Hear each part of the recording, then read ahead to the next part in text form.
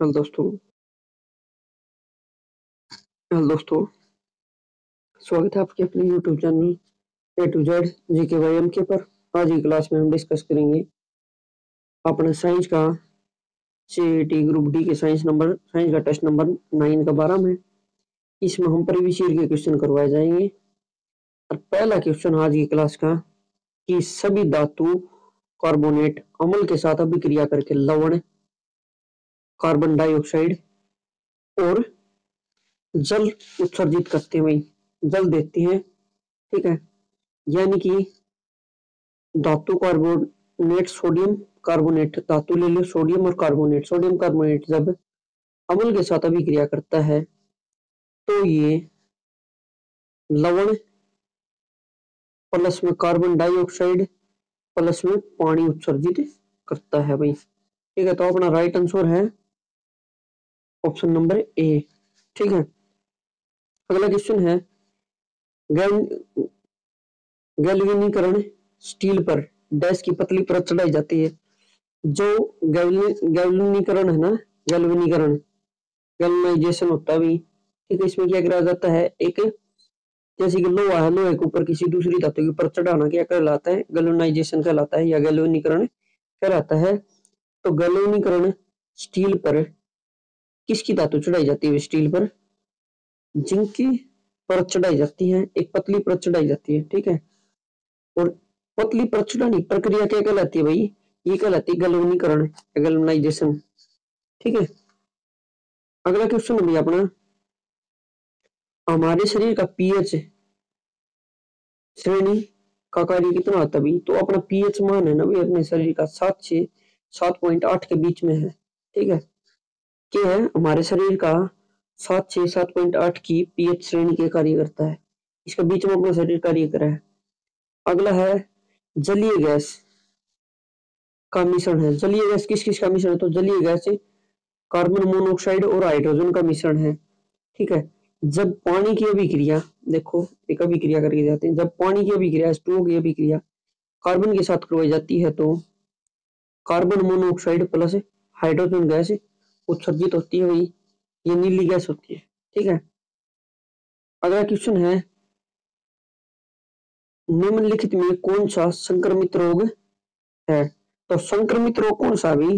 जो क्षय रोग है ना, ये संक्रमित रोग है। संक्रमित रोग हुआ होता है जो हवा के माध्यम से छूने से फैलता है, ठीक है भाई? संक्रमण के द्वारा।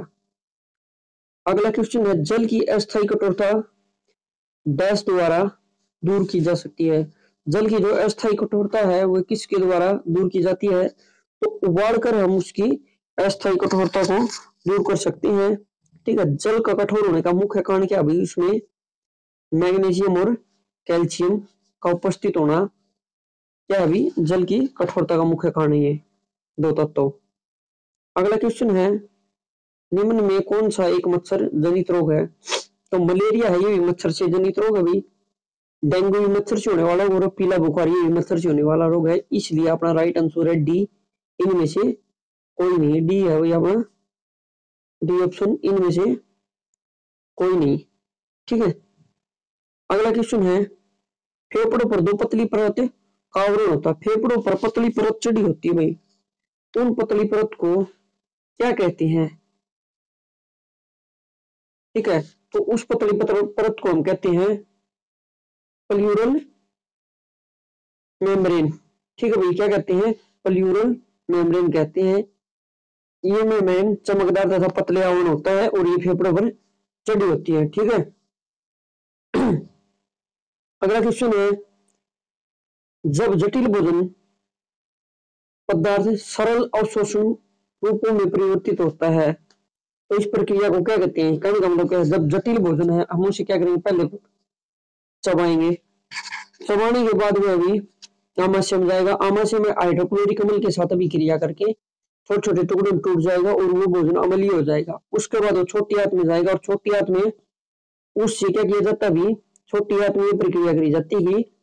जो तरल पदार्थ है, उससे जो पोषक तत्व है, अवशोषित कर लिए जाते हैं। ठीक है भाई?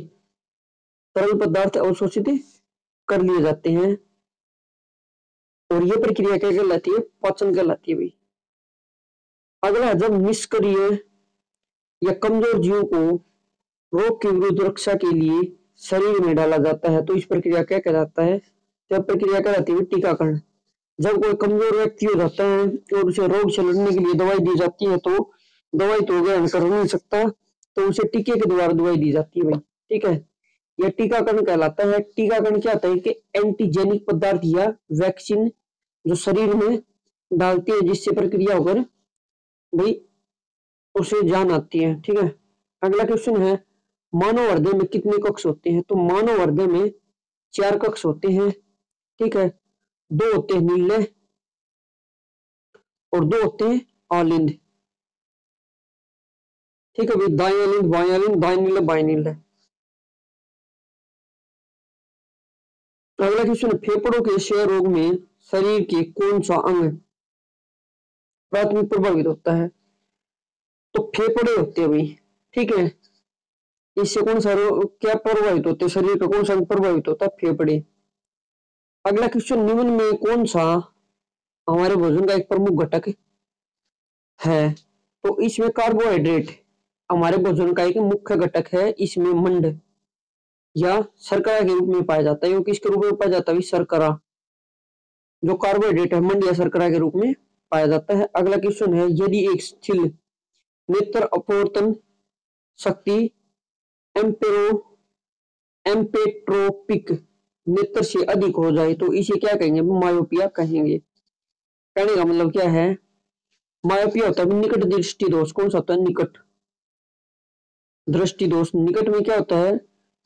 कोई वस्तु है, उसकी इमेज अपनी आँख में जो रेटिना उससे आगे बढ़ती है। ठीक है लेंस के निकट बनती है, इससे निकट दृष्टि दोष कहा जाता है। इसमें व्यक्ति को निकट की वस्तु तो साफ़ दिखाई देती, लेकिन दूर की वस्तु साफ़ नहीं दिखाई देती। इस मायोपियो के संशोधन के लिए कौन सा लेंस का उपयोग किया जाता है? अवतल का। ये भी अवतल लेंस का उपयोग किया जाता है। अगला क्वेश्चन है डैश एक पारदर्शी रंगहीन उदासीन जल है, जो नेत्र पुटिका में चार बटे पाँच पाश्चर को भर देता है तो इसे कहते हैं भाई नेत्र काचाव द्रव्य। क्या कहते हैं? नेत्र काचाव द्रव्य। ये रंगहीन, उदासीन होता है। इसका पूर्णांक होता है नेत्र का द्रव्य का पूर्णांक होता है एक पॉइंट तीन तीन छ इसका ये इतना अपूर्णांक होता है अगला क्वेश्चन है, डैश को प्रकाश की दिशा में परिवर्तन के रूप में परिभाषित किया गया है। कहने का मतलब क्या है? जो प्रकाश की दिशा में परिवर्तन कर दे उस नापा की अपवर्तन कहते हैं उसे, अपवर्तन। ठीक है? यानी कि ये देखो, यह एक कांच की स्लैब है। अपवर्तन में समझा दी। कांच की स्लैब है, जब एक प्रकाश की किरण आती है, इसे कहते हैं आपतित किरण। आपतित किरण। ठीक है? इस प्रकार आती है और यहाँ एक अभिलंब बनता है। तो यह किरण जानी चाहिए थी इस प्रकार, लेकिन क्या है? इस प्रकार मुड़ जाती है। तो जब विरल माध्यम से सवन माध्यम में जाएगी तो ये नॉर्मल की तरफ़ झुक जाएगी। और जब इस संगन माध्यम से विरल में जाएगी तो नॉर्मल से परे हो जाएगी इस प्रकार। ये तो है संगन माध्यम। संगन माध्यम और जो हवा वाला है, वो है विरल। ठीक है भाई? तो इसका राइट आंसर अभी अपवर्तन। अपवर्तनांक ठीक है?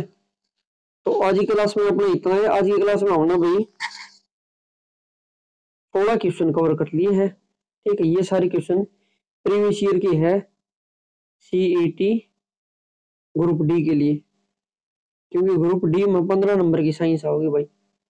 ठीक है? और हम प्रीवियस ईयर के क्वेश्चन हर रोज करवाने लग रहे हैं। अपने चैनल पर जुड़े रहो, लगातार देखते रहो। जय हिंद जय भारत। आपका दिन शुभ हो।